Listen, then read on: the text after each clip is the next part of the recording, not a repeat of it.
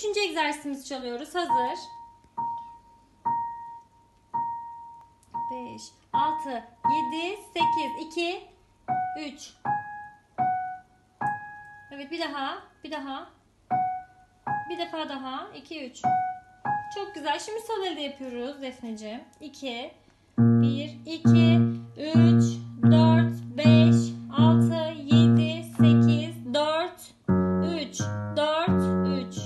4, 3, 4, 3.